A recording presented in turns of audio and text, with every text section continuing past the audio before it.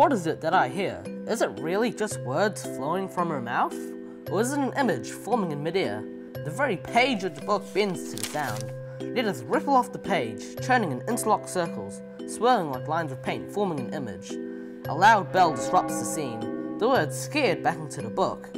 She puts the book away, the world thriving just moments ago shut out of existence, quietly waiting in the book for another time. And that's why Mrs. Dawson is my reading superhero.